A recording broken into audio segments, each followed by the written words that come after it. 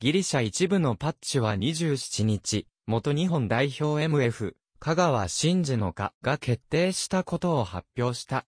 今シーズンの欧州サッカーはダゾーンで、いつでもどこでも簡単視聴。1ヶ月無料お試し実施中。香川と PAOK との契約は2023年6月までの2年半。背番号はこれまで、ボルシア・ドルトムントやベシクタシュ、レアル・サラゴサでも着用していた23となることが発表されている。コーは、昨季所属したスペイン2部のサラゴサとの役を昨年10月に解除し、フリーとなっていた。